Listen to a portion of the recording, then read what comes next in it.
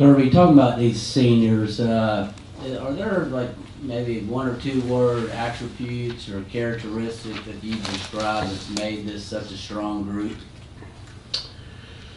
Uh, resilient, I would say, is, is one of the big ones. They've, they've, they've been through a lot, you know, they've, they've, uh, had some ups and downs, but, uh, very high-quality leaders. I mean, the group that, uh, is, I mean, seniors loosely, ter- loose term right now, because who is a senior? Is it the fourth year, the fifth year, the, the red shirt juniors? I mean, it's all over the place, but the group that sits in the, the front of this team meeting every day is, tremendous in terms of what they've meant to Georgia, uh, how they've approached their work.